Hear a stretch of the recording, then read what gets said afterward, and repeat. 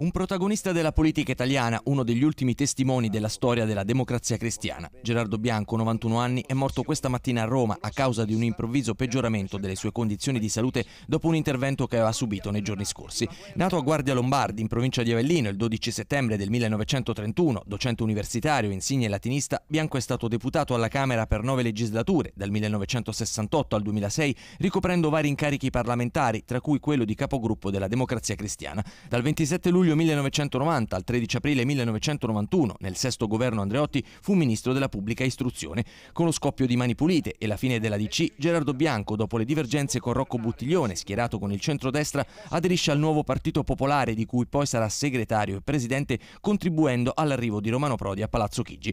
Tanti gli attestati di stima da parte della politica, uomo libero, coraggioso, saggio e divisione, lo ricorda il segretario del PD Letta. Senza di lui non sarebbe nato l'Ulivo, le parole di Dario Franceschini.